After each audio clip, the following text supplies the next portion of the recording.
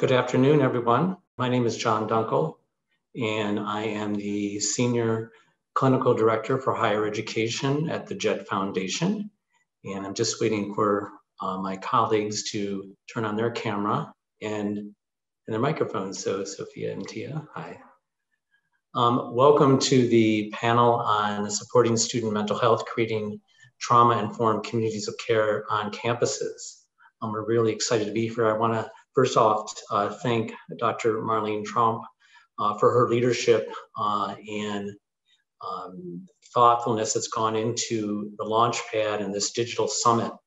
Uh, she reached out to me uh, a couple months ago and asked me uh, through an email if I would be willing to participate. And I immediately didn't even think. I said, absolutely, tell me when and where, and I'll be there. Uh, because this is such an important, these issues are such important topics. Um, and I was really drawn to her desire to really um, provide action steps for participants who are going to be part of this digital summit. So I'm very excited to be a part of this and I want to thank her and her colleagues and staff at Boise State University. Um, and I hope that uh, all of you are, the participants in this digital summit are getting a lot out of this and we hope to be able to hopefully provide you all some action steps as well. Um, I am going to ask uh, the the other thing when I decided to do this, um, I thought about who could I get to do this with me, and it that didn't take long either. And I thought of the two great colleagues here for whom I have a great deal of respect and really uh, value their perspectives. And I'm going to ask them to each introduce themselves, tell them who they are and uh, their affiliation, and maybe a little bit about their background. Um, so, uh, Tia, would you like to go first? Sure. Thank you, John, for inviting me to join this panel. And Sophia, it's always good to see you as well. So I'm looking forward to our conversation. And thank you to Dr. Tromp for inviting us as well to be part of this and to her wonderful staff for their preparation for today. I am Tia McNair. I serve as the Vice President for Diversity, Equity, and Student Success and the executive director for the Truth, Racial Healing, and Transformation Campus Centers at the Association of American Colleges and Universities in Washington, D.C. And I have been engaged with the JED Foundation on a couple of panels this summer, really focusing in on obviously mental health and well being. But for our perspective at AACU, we'll be talking about the work for the Truth and Racial Healing Transformation Campus Centers and our focus on racial healing circles. So I'm looking forward to the conversation. Thank you, Tia. Sophia. Hi, thank you so much. I'm going to echo everybody's thank you for Dr. Tromp putting this together for, for everyone because it's an important topic and any excuse I have to partner with my colleagues, uh, Dr. John Dunkle and Dr. Tia Brown McNair is always a privilege. Um, so uh, thing about me is I'm the Chief Diversity and Inclusion Officer at the JED Foundation. I have been with JED for two years. Before that, I was in higher education for 24 years, working in, in student affairs and um, teaching as a faculty member. And my previous position right before this one was Associate Vice President and Dean of Students at Hofstra University. Uh, and just over years, hearing and listening to students' needs, um, really thinking about it from a well-being and mental health perspective brought me to JED, specifically the equity and mental health framework and how we can um, rethink the way that we provide support for students. So I'm thrilled to be part of this conversation and anything we can do to make life better for students to help them be successful, I'm on board. Thank you, Sophia. Thank you, Tia. Um, so as I said, I'm John Dunkle. I'm the Senior Clinical Director at the JED Foundation. I've been here six months. And prior to that, I was at an institution for higher education for 25 years um, as a mental health professional. I'm a psychologist by training. Um, and I was the director of the Counseling Center for 15 years at Northwestern University. Um, so uh, the issues we're going to talk about today are something that's been on my mind for a long time. Um, and whenever I do talks on things like trauma, which is going to be a part of our focus here today, um, I always think about what we hear about with our students and in, in terms of trigger warnings. And, and you never know where people come from, their walk of lives, their background, their experiences. And as we talk about these issues today, uh, if you're feeling that you need to take time for yourself, that they're potentially triggering, please do that. Take time for yourself, support yourself, um, and, and hopefully you'll be able to rejoin us if you need to step away. So I just want to say that um, in the interest of making sure we take care of ourselves. Um, for those of you not familiar with the JED Foundation, the JED Foundation's mission is really to help campuses develop systems, policies, and programs that promote mental health and well-being of students, um, as well as suicide prevention. Um, what we do essentially is we help uh, campuses strategically create what I call communities of caring. Um, and we also uh, provide programming uh, for campuses as well as students so that as they navigate their mental health challenges um, and so that they are equipped uh, to navigate them. Uh, we try to educate communities and support the emotional well-being in general in higher education. Um, how do we do that? Well, uh, at JED, we really, we really uh, go and work with campuses to develop strategic plans around um, various what we call domains that we know are based on research and data uh, correlated to mental health and well-being of our students and our campus communities. Three things I would say that are fundamental principles uh, that are important um, uh, when you think about helping a campus develop these strategic plans. First of all, um, that you have to see mental health on a continuum, just like physical health that um, just because someone does not have a physical illness doesn't mean they're necessarily physically healthy. It's the same thing with mental health. And so if you can think of our mental health along a continuum, that helps us to think about different ways that we can address the mental health of our students. Uh, we talked about the strategic planning process. That's another part of creating a community of care that it has to really be thoughtful, intentional, and involve uh, many campus uh, partners uh, including students, faculty, and staff, to really create a sustainable uh, strategic plan around mental health, uh, well-being, and suicide prevention. And finally, every campus member has a role and responsibility in this community of care. It's not just the counseling center, if you have a counseling center or health service professionals, it is the whole community. And if you can look at it that way, uh, it can really make a big difference in terms of how you approach it. Everyone plays a role in the mental health and well-being and suicide prevention on a campus. As I said, in working in higher education for 25 years, um, I know firsthand, especially from a counseling center perspective, what students were dealing with even before COVID this last year, 2020, basically. And we know that anxiety, stress, depression, we're all on the rise, suicidal ideation. Well, we also know um, as we've been now eight months or so into the pandemic, um, that uh, anxiety, depression, and suicidal ideation are up even more. And so this is a very timely program to really be thinking about what we can do and what might be leading to these increases. Um, in the normal course of things, uh, if you can think of it that way, we already were concerned about mental health issues. And certainly college presidents, it's on their minds. Survey after survey shows that either the first or second um, issue that's on their mind is that of mental health of students as well as faculty and staff. And that's another important uh, point that I want to make here.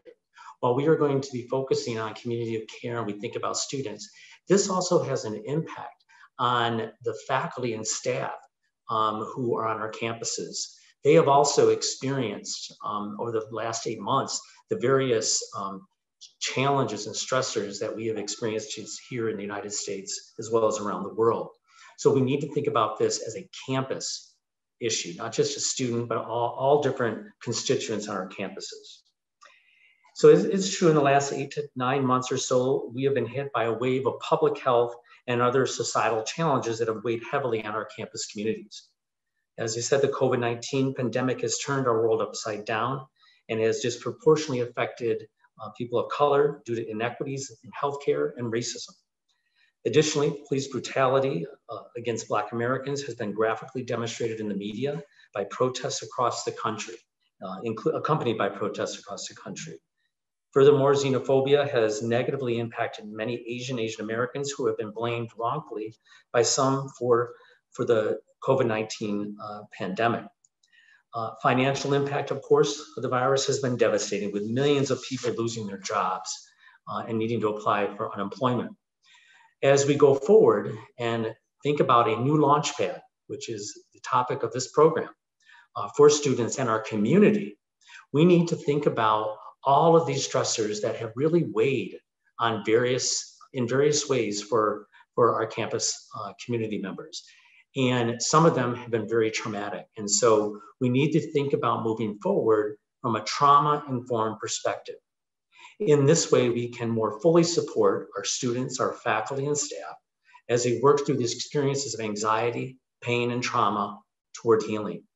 In short, it has been emotionally and physically exhausting for our campus students, faculty, and staff.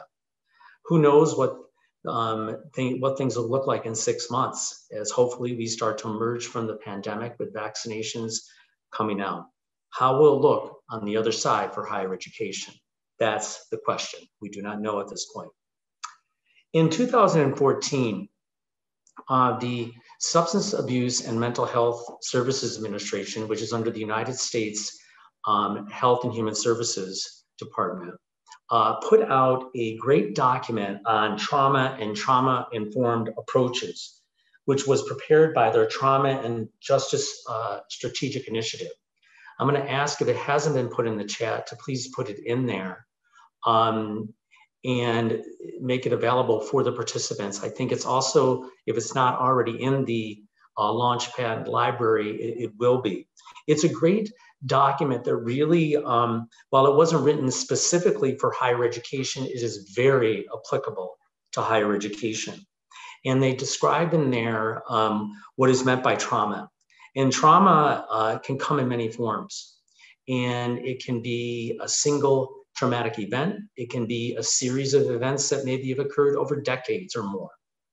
Uh, it could be direct trauma that someone's experienced. It could be trauma that uh, someone may experience uh, vicariously for someone they know, um, for example. Racial trauma is also another experience, intergenerational trauma. We know a lot more about trauma and um, we're educating uh, ourselves about it and we need to if we haven't.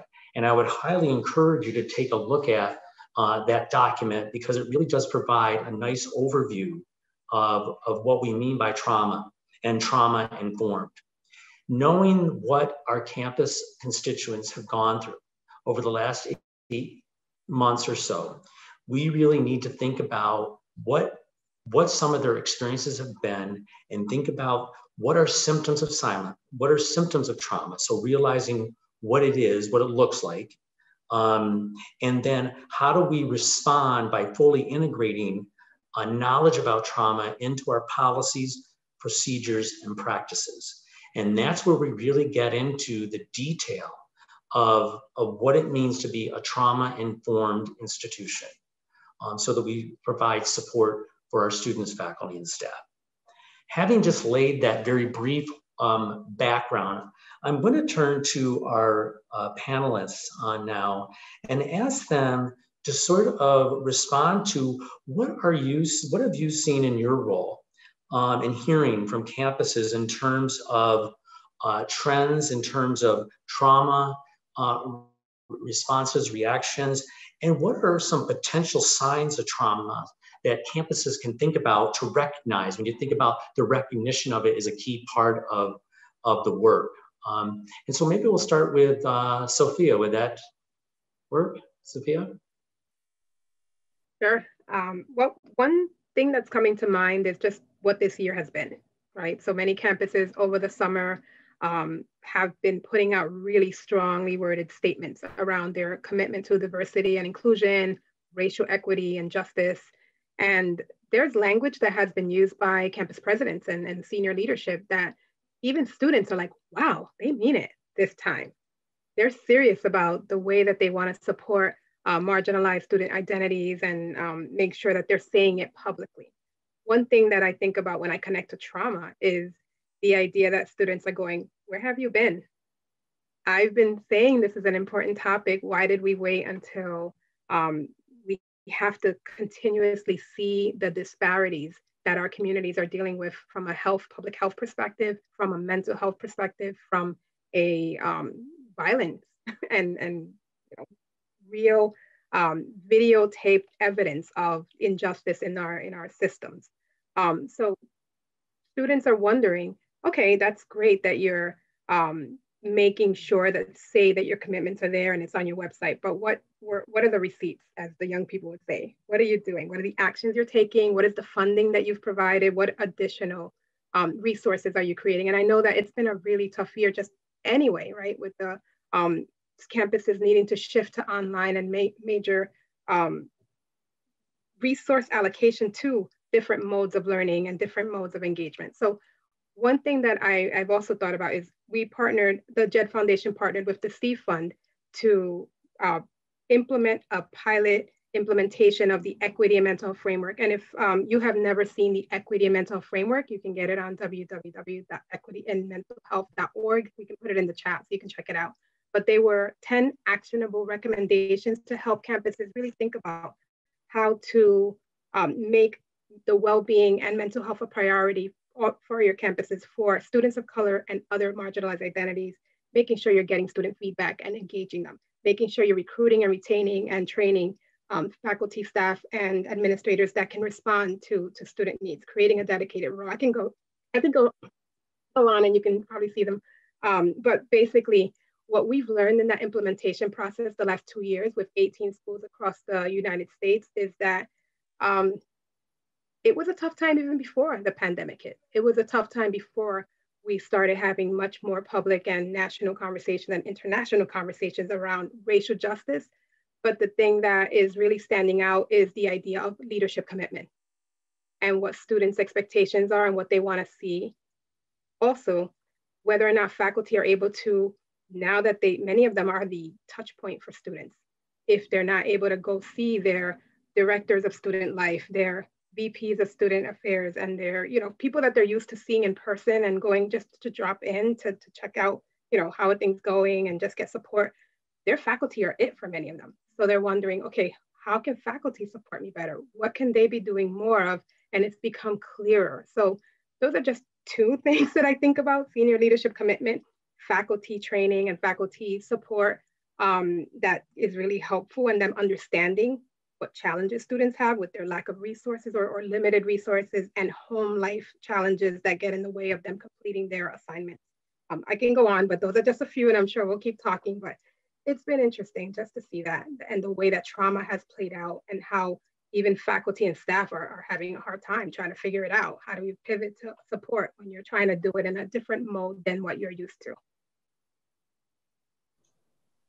Thanks, Sophia. Tia, you want to share? So I just want to say I agree with everything that Sophia just said, but that's not surprising because I always agree with Sophia. So I think that she's brilliant. Um, definitely um, with this focus, our students want us to be authentic and they want us to react and they want us to respond and be responsive to their needs. But at the same time, we have to think critically about how our institutions build the capacity to prepare racial trauma informed leaders and educators. And I think that's something that we struggle with. And unfortunately, what happens is that burden falls on, or that responsibility falls on a certain group of people on campus. And those people feeling as if they're the only ones that can respond, and they're often the, the educators that look like the students and have shared experiences. We need to do a better job in higher education of figuring out how we're going to prepare. So, so first let's let's just go back, John, to what you were saying, the definition of trauma. And I think it's important for us to realize that there are so many different variations of how trauma manifests itself for different people. And we need to acknowledge that and respect that it is different for a lot of people it's not going to be the same so we shouldn't be the get you know be judging what is traumatic for some and not traumatic for others and I think that's something that we need to, to critically understand. I also think that we need to be honest about our inability to address and support certain some students and then figure out ways and strategies for us to actually build as we talked about that capacity to do so and i think that that is something that we as higher education leaders need to understand and not try to have, as we talked about, Sophia, as you mentioned, the quick fix or the fix that we think that we normally go to. Let's get a committee. Let's do it that, you know, let's make a plan. Let's do this. And then our students are like, okay, that's the same thing that you've been doing. And even our peers are saying that's the same thing you're doing because we got to be honest too. It's not just our students who are experiencing trauma, it's the people who are part of our community that are experiencing trauma. And that's why the um, the series that's in Inside Higher Ed, I think, is so powerful about the Black experience in higher education, talking and hearing from educators, from faculty about their dealing with trauma in hiring and tenure and promotion and just being able to stay and to i mean be retained as faculty members and their interactions with their own peers. And i think we just have to be expansive in understanding that our institution and many of our institutions perpetuate racialized practices and we need to develop systems for actually identifying it and dealing with it in a way that is going to prioritize that deep communication, that empathy, that deep listening, and as we talk about at ACU, that healing process so that we can transform. And we should say we're transforming, not just transform because it's an ongoing process. I, I think that's a great point, um, Tia, that, that, you know, this is something that is a process. It's not necessarily an outcome. You get there and you're done. It's something that we need to constantly monitor and adjust as necessary and listen to the feedback and, and, and follow, you know, the trends and whatnot. You know, I was listening um, to an interview the other day uh, from a football coach, actually a college football coach, and I found it very insightful. He was talking about how teams um, that are struggling, that the first uh, inclination is maybe to blame the players or to blame someone, and he, he used the analogy of you need to look under the hood. You need to dig deeper. And a lot of times that I would encourage campuses to think about is that, you know, uh, it's very easy to get frustrated, to get exasperated, um, students, faculty, and staff around things. But if you think and think deeper about what might they might be experiencing and what has happened in the last um, several months and even before that, it, it's something much deeper. And usually you can dig into possibly trauma. Trauma is such, a, I think, a loaded word for some people. I'm wondering if you both have specific examples for how it might look uh, on a campus. What would what would be um, one way where you know you think about, um, wow, that's that's that's a that's something bigger. That's something we need to really think about. That I can think of a couple, but I'm wondering if you both have maybe one or two you might share. Whoever would like to go. Huh. Um, I guess I would say not underestimating the power of communities and encouraging that. Um, we have one of the schools that we worked with with the Equity Mental Framework had a um, Black women's leadership group that would meet and discuss just what is life like? What do you need to support each other? And when they um, had to go remote, they were trying to figure it out. How do we still create this authentic and real experience that was supposed to only be in person. And what they found is they did pivot to a Zoom environment and found that it was just as affirming. They were still having authentic conversations about hair and how to do what you have to do and you know without have, being able to go to beauty salons and just and i know that sounds so trite right oh who's talking about hair well black women are and, if that's what they need to talk about to kind of just feel real and authentic when they're not feeling that in their classroom when they're kind of feeling not connected or, or just not not involved um, then those are the spaces that some of these counseling centers and student life departments are creating. So I, I would say that's one that really stands out because it was more than one school that created those environments and then they kept going because the need was still there. And then the thing that ended up happening is that it got expanded more people could join because those students who were working before and couldn't make it because of the time constraints were still able to engage and and find a way to still connect even though it was you know since it wasn't in person it was actually easier to do that. So that's one example those support systems that students might need that you can expand now. Um, and even if we when we do go back on campus and, and students are engaging in person figuring out okay now that we know that this is possible to still be authentic and and really create those affirming environments, how do we do that in a more um, expanded way and in ways that can create even more specialized populations that might need support from one another. So veterans, for example, LGBTQ plus students, like whatever it is, finding that, that opportunity to bring students together. Great. so you know i'm going to mention our work on the truth racial healing and transformation campus centers and again it's not the the answer is not the only answer it is something that we have embraced at the association of american colleges and universities as a key aspect of what we see as a need within our member institutions and within the institutions that we engage with at aacnu and TRHT is a national effort that was launched by the Kellogg Foundation. And the visionary and architect of that is Gail Christopher when she was at the Kellogg Foundation. And she's now serving as an advisory you know, board member for us at ACNU.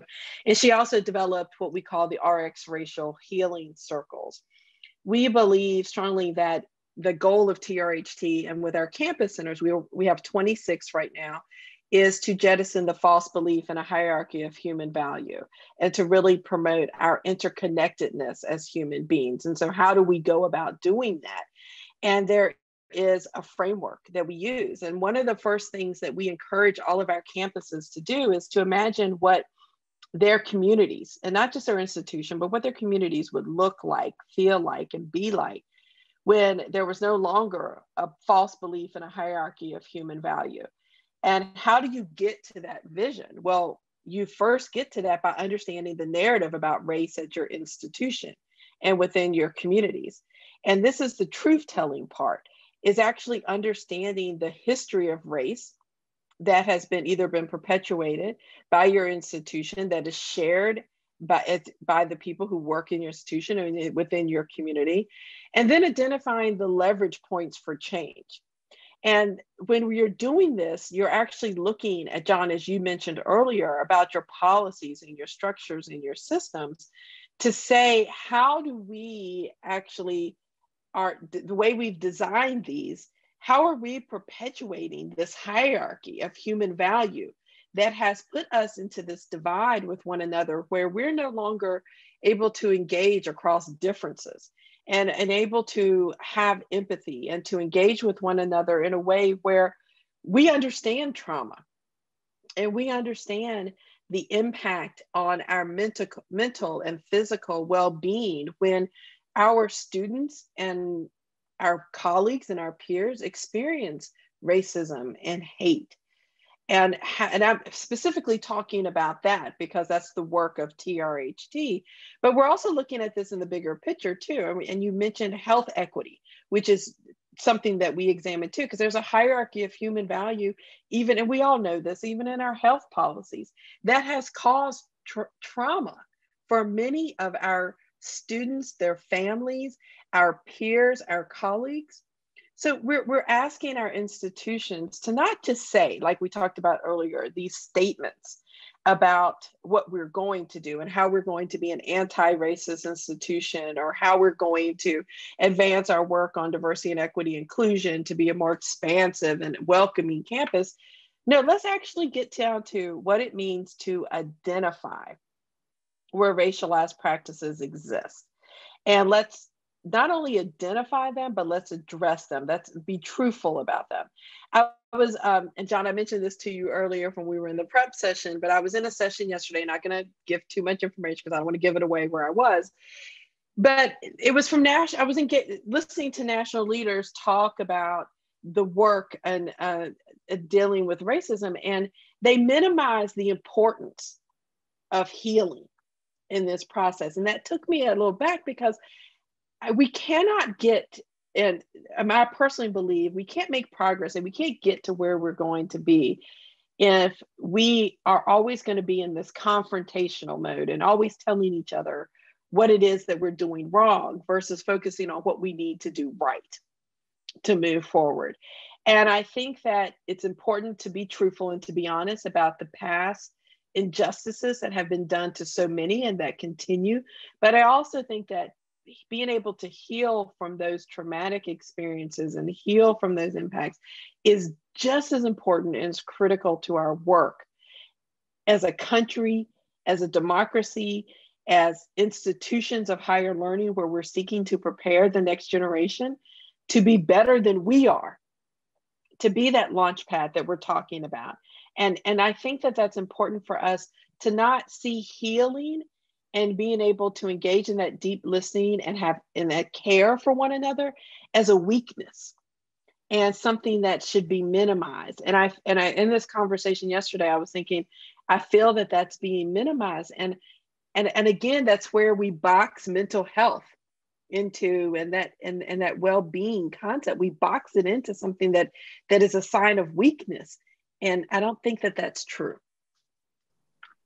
I, I totally agree. And uh, you said it better than i ever could. And uh, you know, a couple of other examples concretely that I would give in my experience, you know, where you never know where, um, you know, traumatic experiences or trauma is, is. And, you know, some examples I've been hearing about and seeing are, you know, things like uh, the activism that students are engaging with on campuses to defund campus police and, uh, and other types of things like that. Financial aid offices.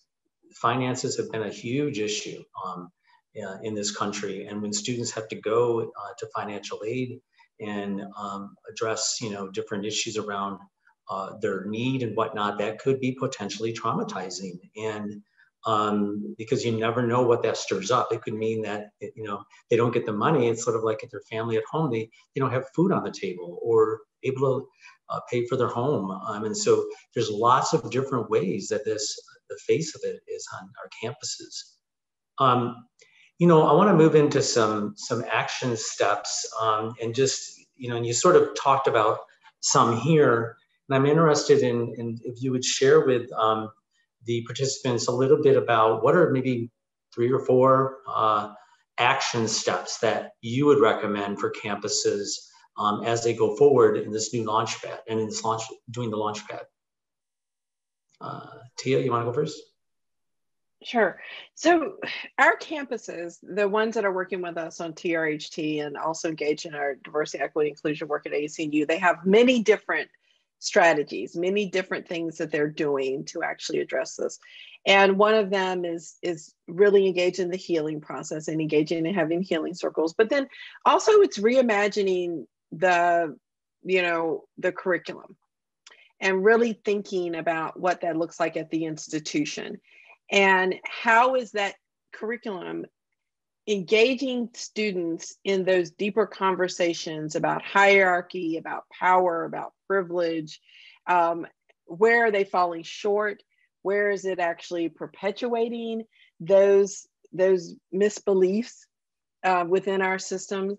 We also are thinking about ways that our institutions are preparing our educators. And, and so, again, back to what we said before, you can't just assume that people are going to know how to do this work and how to be prepared to do this work. And I think that many of our institutions are trying to build this capacity in a way that is incremental but is scaled at the same way because we know that it can't be relied upon from different or for the same people again collecting and examining the narrative about race and then really trying to develop a plan, a plan, an actionable plan to move forward when they have identified ways that racialized practices exist on campus. When they say, okay, we know, for example, like John, you mentioned financial aid, are our students being treated differently? Uh, based on their race and ethnicity when they enter into our offices? Are we asking more from some than from others? And we've heard this from some of our campuses sharing that information with us. And so, all of these aspects and how they're partnering with the community to do this work. And I think that's, Sophia, you mentioned that too. That is so critical and so important. And many are, of our institutions that are working with us, they're not just partnering with the, the community organizations, they're also partnering with K through 12 leaders and they want to make sure that the work that they're doing on the campus is having an impact in the K through 12 system. It's not something that just happens in higher education. It is systemic. We know that it we know that it's structural and we have to think about um, ways of embedding these conversations and these actionable items into the way we design and, and present information and share information with students. So those are just a couple of things. Um, I know that many of our institutions are working with churches, they're working with local libraries, they're having conversations with um, you know, looking at how they even share their history at their institutions and what needs to be acknowledged and redesigned in a way that is more um, expansive and respectful of the communities that they serve.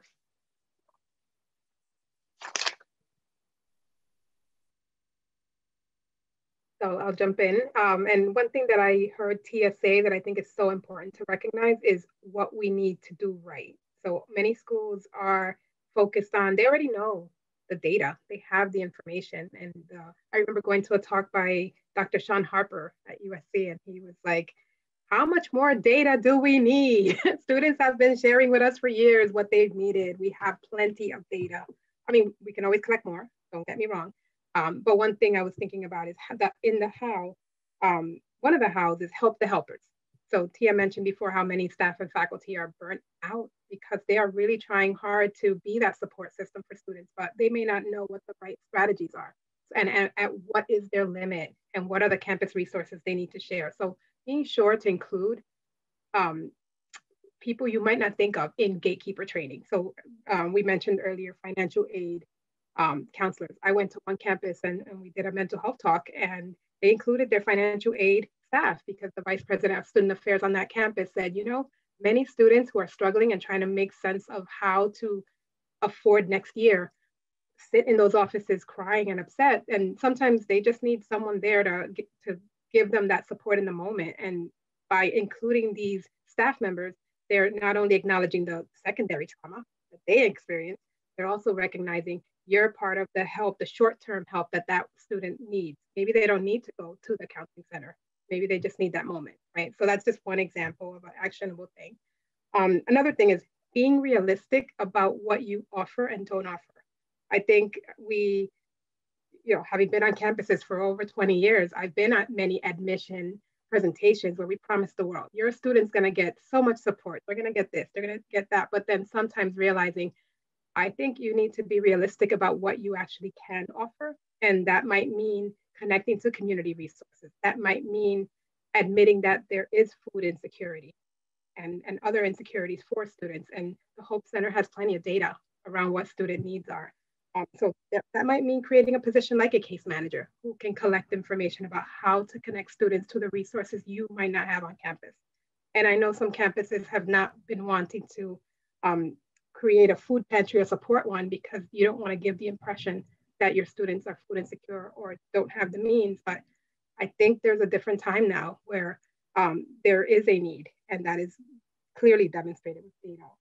And then the last one is to address some of those basic needs. And the idea of basic needs can actually be a little different. Some community colleges I have seen are handing out hotspots to students for Wi-Fi. That's a basic need now. If that is the way you're gonna connect and be successful in your course, then you might need to figure out how to build a laptop program or, or um, tablet, which many campuses have already been doing.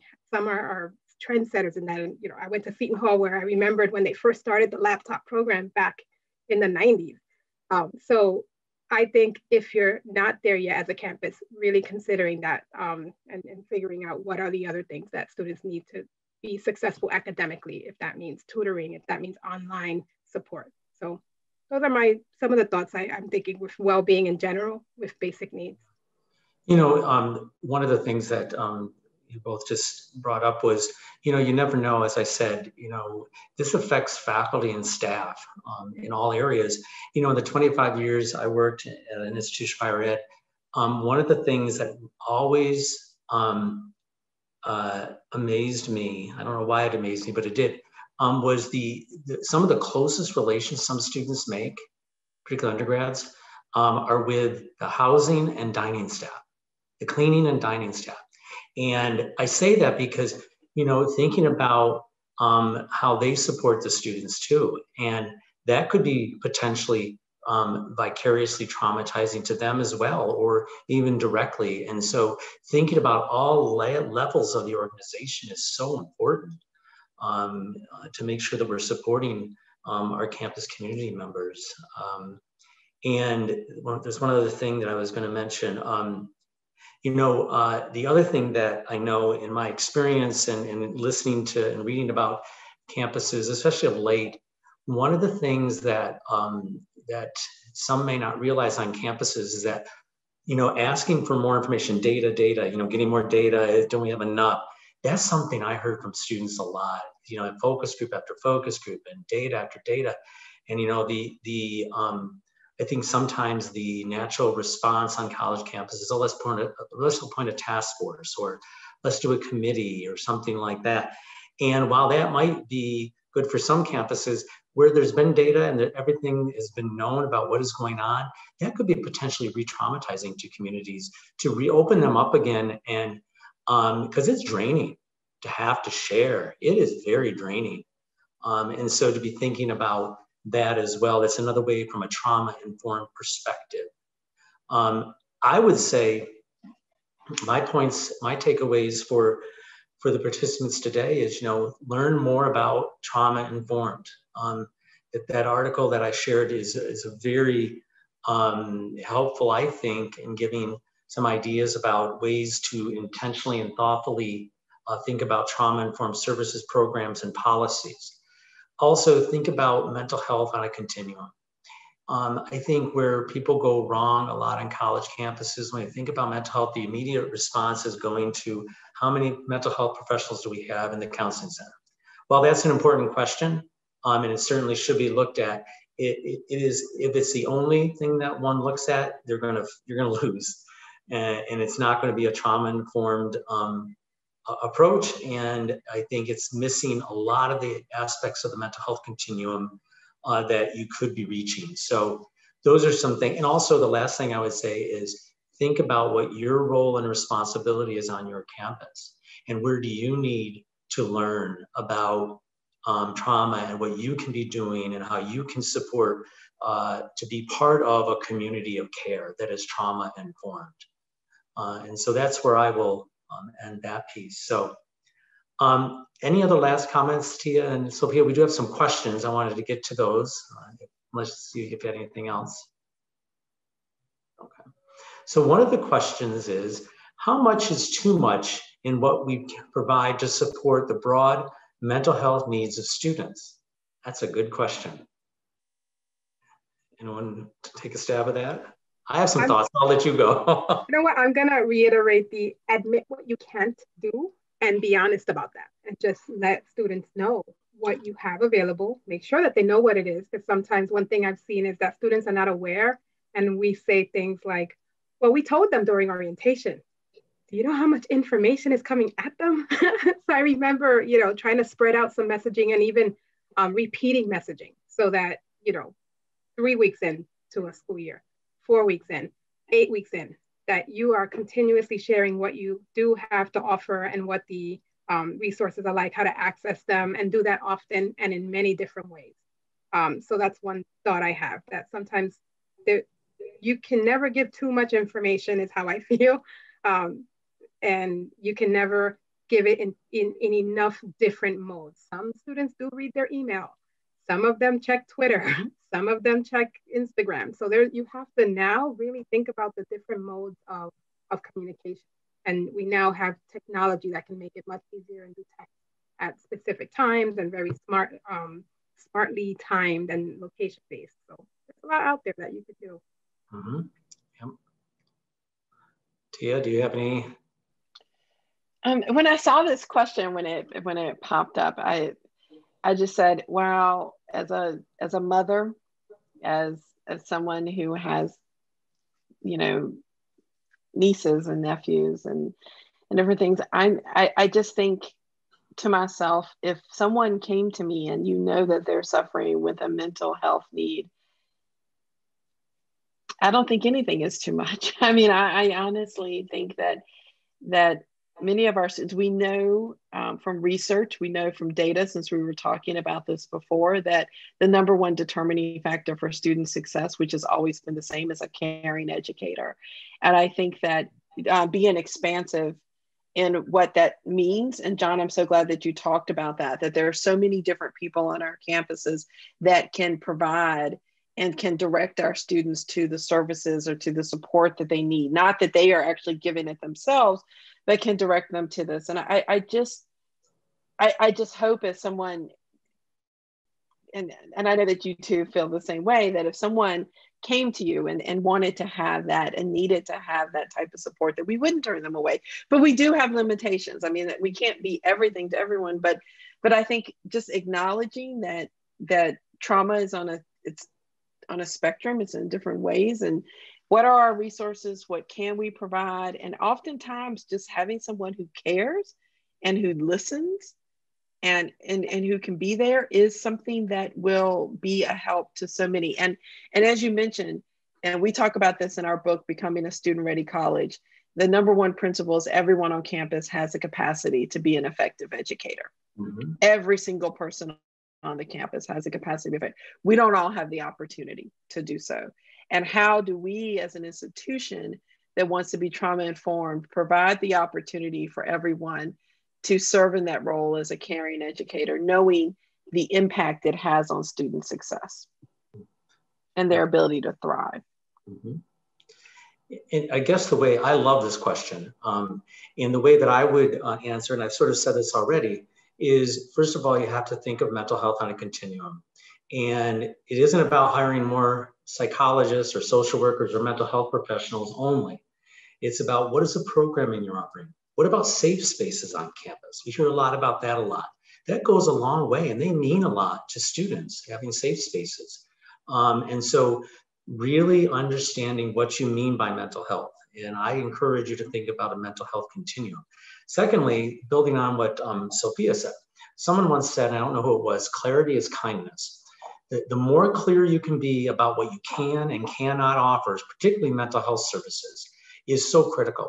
I have seen over and over again in my career where families have felt um, sort of like a bait and switch. Like they thought they would get all of their mental health services right on their campus or health services, whatever it might be. When we know that's not the case for every student for the whole time they're there. It just can't, it's not realistic. So what I encourage campuses to do, I think of like an expressway. There's multiple lanes. And so what you all need to do is carefully and thoughtfully and intentionally articulate what are the lanes and you stick to those lanes.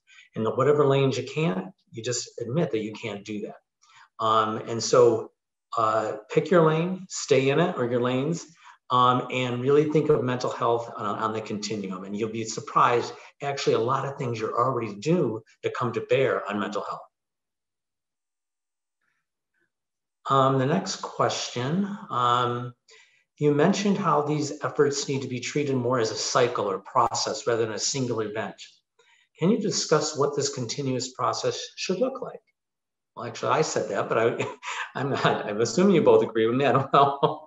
what do you all think? It's like it's sort of like the whole issue of diversity, equity, inclusion too. I see that as a process. You have to constantly um, monitor and think about, you know, um, all of your programs, processes, and systems, and that may change. Realities change. Um, you know, whole things change, and so having a way strategically, um, having it part of a strategic process that doesn't just sit on a shelf, that really is a lived process, I think is really, really important. So that's my quick answer to that.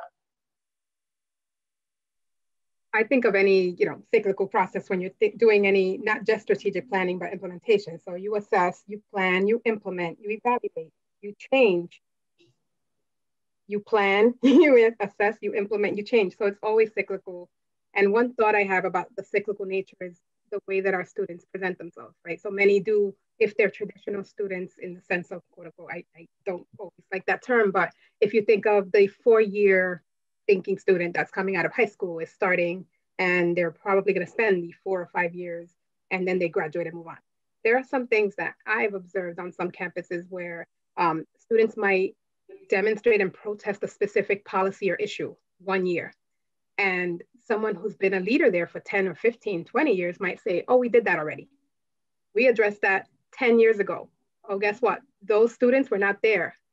They don't care what you did 10 years ago with that issue because the issue is relevant and salient to them today. So in terms of cyclical, it's not like you should solve an issue and then put it on a shelf and say, well, we did that already. Things are changing, things change all the time. So I think thinking of everything as a cyclical nature is that's the way I think of it, because that's traumatic when you're being told, I don't really want to listen to your point of view on this issue because I feel like as an administrator, I dealt with it already, or I spent enough time solving the issue with whatever I had available at the time. But just reframing that for yourself and not re-traumatizing new students who are now coming into an issue. Great. Do you have anything, Tia, that you'd like to add? Yeah, I, I, think we spend a lot of time on the destination. We talk about this with TRH. We, we with TRHT, we spend a lot of time on it and not on the process that we need to go through. And and I, and I don't mean the process and setting it up and preparing because that takes for some a long time as well. And we don't want to spend it on the process on how you actually put these systems and structures in place to support mental well-being and, and to actually support students that that you know have experienced racism or you know these instances on campuses and off campus and these injustices which you know are too many to name.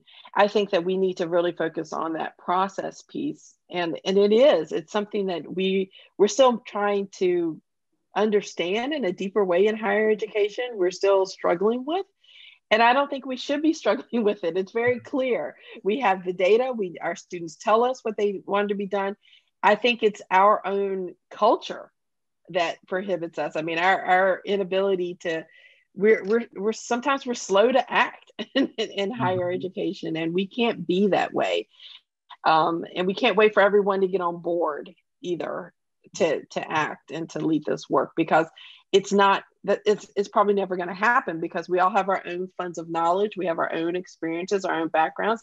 And there are probably many people on campus and even on our own webinar that we did on trht just recently someone said one of the questions was about the ability to even engage in the work because leadership doesn't support it. And and you mentioned that earlier sophia the importance of leadership that it's not something that is valued um, what we're our discussion today wouldn't be something that's valued. And, and it, that's hard to imagine in a, in a place knowing where we are but that's the reality that some people are, are, are facing. So we can't wait for everyone to be engaged. The process has to be able to be sustained and move forward even when there are some people that are not on board with us. And i and i think that that's sometimes a struggle at some institutions. And i know it is um, Tia, someone requested that you um, say again that, or write in chat the, the reference to the book that you talked about. Um, they wanted the title again. Oh, our book, Becoming a Student Ready College. Mm-hmm. Okay. It's becoming, it was out in 2016. So I think we just have a couple more minutes and there's some great questions here and I, it's really hard. Um, I'm gonna take this one because real quickly, um, what would you suggest the differences in your approach to addressing trauma-informed work with graduate students, especially from a racial trauma lens? This is something I don't think graduate and professional students get enough attention sometimes in terms of the work we do. And so I really would like to just um, say that one. Um, if you have any thoughts on that, either one of you. John, you were talking about this in our prep session, so you should definitely say something okay. about this. you you distinctly brought this up. Well, I, I think, you know, um, the, the, graduate and professional students, as I said, the focus always typically is on whether we mean it to be or not is on undergraduates. And so thinking about the unique needs and issues that graduate and professional students face, they're typically older, some may have families, um, and some uh, may be sacrificing a great deal to go back to graduate and professional school. So um, I would say that um, understanding what your specific graduate student needs are are critical. I don't know as if all campuses do because a lot of the surveying and whatnot is done on undergraduates. So getting to know what those needs are, that may be an area where you do have to collect some data um, and do some focus groups in particular. Um, and then, uh, you know, thinking about um, what the particular uh, developmental issues are for graduate professional students in terms of their journey. Um, there's not a lot of writing on this actually, and not a lot of data. And that's really unfortunate. And I hope that this is an area where more um, thought can go into and more research goes into um, to really understand it. So that's my thinking on it. Um, I don't know if I have anything big, but uh, I would like thought. to add a quick thought on that. Um, I think we have developed a culture of care for undergraduate students in a way that you know I haven't seen in, you know, but we have not done the same for graduate students. And I think there's still a culture of rite of passage. It was hard for me, so it's going to be hard for you. And you know, I remember having a conversation with a faculty member who was mentoring doctoral students and said, "Oh, it's so much easier now because there's so much easier access to data and information." You know, back in college, I was putting things on microfiche and printing out all this stuff and going to a library. And now you can click and get everything you need and crowdsource articles. The thing is, the synthesis of the articles, the analysis and writing it is still a need and mentorship is still needed and support is still needed. So it's actually not any easier because now you have information overload. So it's a different issue. So again, just creating that culture of care for grad students as much as we've done for undergrad. So I'm, I'm with you, John. I think there's a lot more. There is research, by the way, about grad students, but I think, again, we're not listening to it or, or reading about it. So I think we should, and I think there definitely should be more information about creating that culture of care and well-being for grad students. I completely agree. And I can't believe Sophia, Sophia, you just said microfiche. People are probably like, what is that? I don't even know what that is. I don't, I don't know what that is. And that's intentionally why we featured a post, a, a doctoral student on our panel for our webinar last week on TRHT.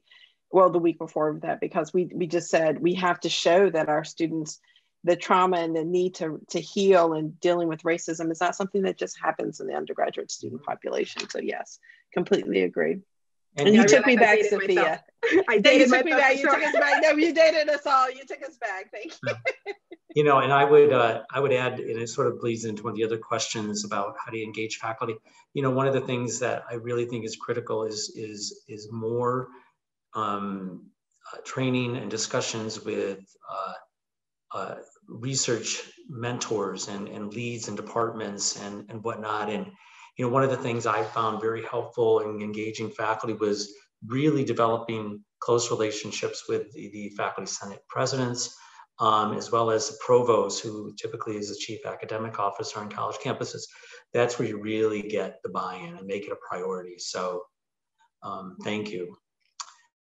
Well, I think we're, our time is up, and I really want to thank you, Tia and Sophia, for this great discussion. And I hope again, I want to thank, I hope that everyone in the audience felt it was helpful. Um, if we didn't answer your question, we'll try to get to them. Hopefully we can keep a copy of that. And I want to again thank Dr. Tromp for and her colleagues at um, Boise State University for inviting us and uh, have a good day.